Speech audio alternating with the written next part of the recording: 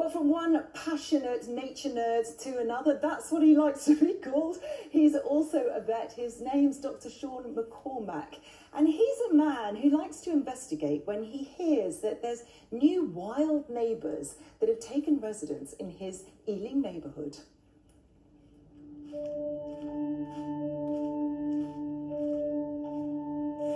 I couldn't believe it when I heard a rumour of a surprising mammal species in my local park.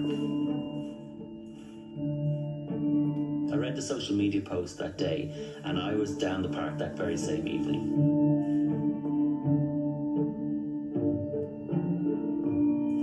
I remember hearing what I thought might be tawny owl chicks in the trees above me.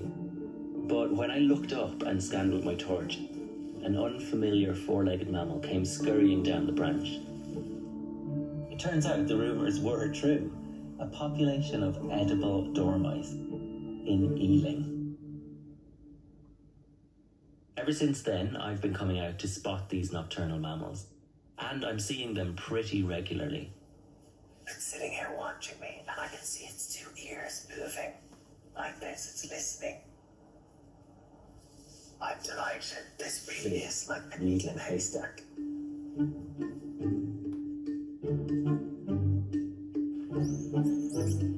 More than 100 years ago, in 1902, a handful escaped from a private collection in the Chilterns.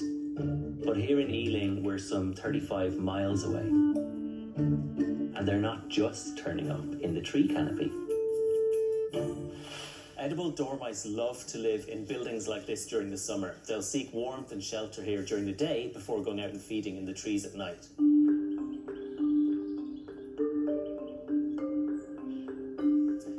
They'll nest in old squirrel drays, birds' nests, and tree cavities in the wild, but they will also nest in man made structures like this loft space. So I'm going to need my torch on to uh, have a look in here.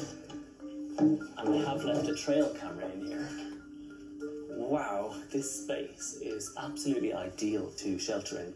And I can see all along here there are lots and lots of droppings. We can see multiple juveniles here, which means they've bred this year. But while they seem to be doing well here, it's not necessarily good for Ealing or for London. I'm off to meet Roger Trout, who's been studying edible dormice here in the Chilterns since 1995. With over 200 nest boxes up throughout the woodland, he's working under license to gather data on population and reproduction rates, as well as the effect these non-native mammals are having on native species. What has their population been doing over time here, specifically in the Chilterns? Well, when, when we started this particular project in, in 1995, we were catching perhaps 10 animals. Right. We're now, on some years, we're dealing with uh, 800 individuals.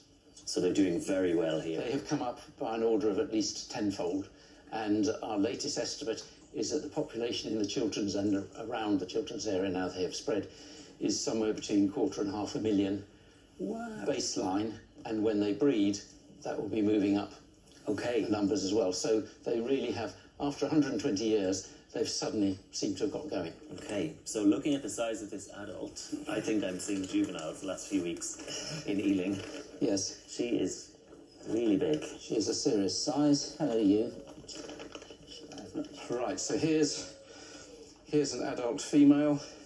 Now, Roger, I know you're not going to like me for this, but they are quite cute. Well, they may look cute on camera, yeah. but actually they're really bad news as a, an in, non-native invasive species.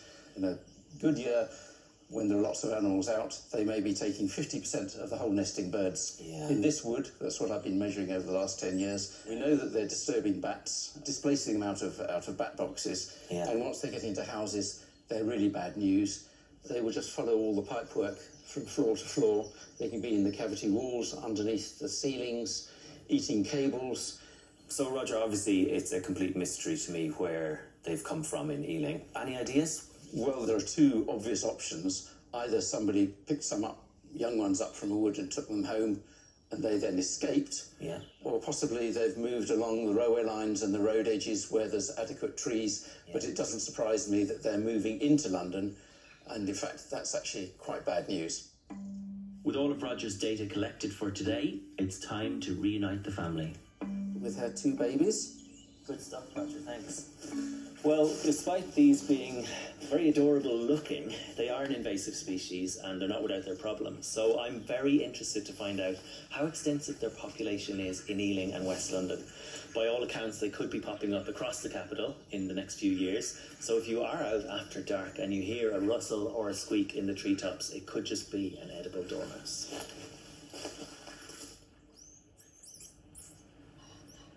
Ooh, that is a little bit of a dilemma. Cute certainly is. animals, but they gotta go. Yeah, and do you know what? I've never seen an edible dormouse. That's another one for my bucket list. Well, not here. Well, not in Wales, hopefully, no, not in Wales.